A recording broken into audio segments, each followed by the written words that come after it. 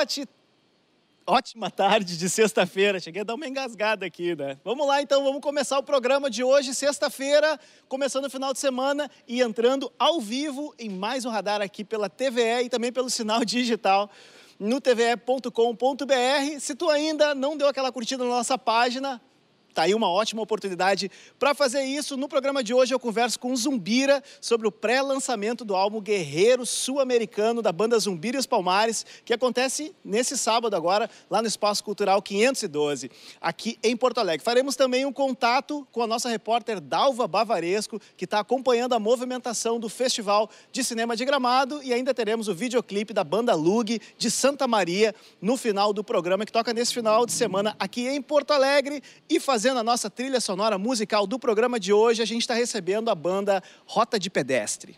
Radar de volta e agora é hora de ver o que está rolando lá no Festival de Cinema de Gramado, que está chegando ao seu final. Oi, Dalva! Oi, Sassá. Oi para todo mundo que está nos assistindo em casa. Nós estamos aqui no hall de entrada do Palácio dos Festivais. Chegamos ao nono dia de evento, é o último dia de mostra competitiva.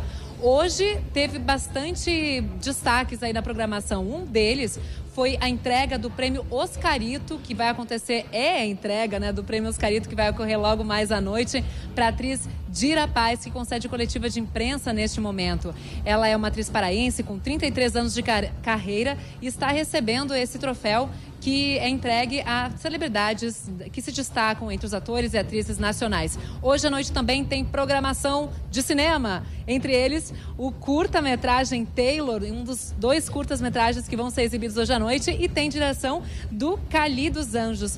Cali, sobre o que é essa história do seu curta?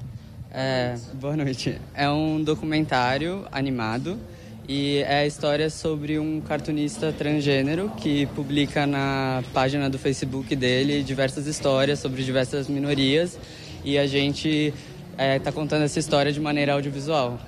É um documentário, mas ao mesmo tempo uma animação? Como é que é isso? É, um documentário, a gente entrevista as pessoas e depois as histórias são contadas em forma de animação. Então é uma mistura de entrevistas com as animações. E as entrevistas são animadas depois, tem mistura de live action com animação, que são essas entrevistas filmadas com a animação. É, é tudo isso. E como é que é, é participar pela primeira vez aqui do Festival de Cinema? Seu primeiro curta depois de formado oficialmente, profissional? Ah, ah eu estou muito feliz com a repercussão que o filme está tendo eu acho que é muito importante. E eu gostei muito da curadoria de, desse ano dos curtas-metragens. Eu estou bem feliz. Muito obrigada pela entrevista, sucesso aí no festival. Obrigado, boa noite. E a gente lembra que amanhã, sábado à noite, é a grande noite de premiações. A TVE vai estar transmitindo tudo ao vivo a partir das 8 horas da noite, então não perde. É contigo, Sassá. Valeu, Dalva! E agora a gente vai seguindo de som com a banda que está tocando ao vivo, fazendo nossa trilha sonora, Rota de Pedestre. Ai, que preguiça!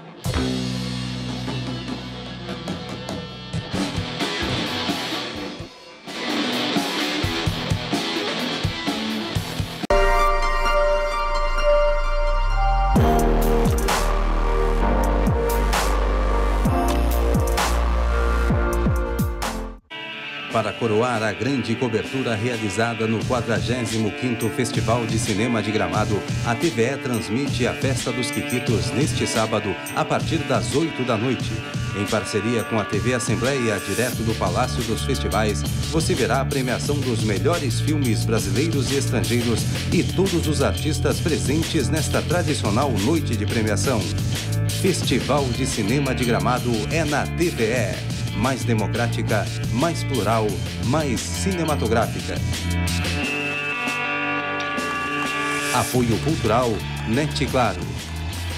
EGR e Governo do Estado do Rio Grande do Sul.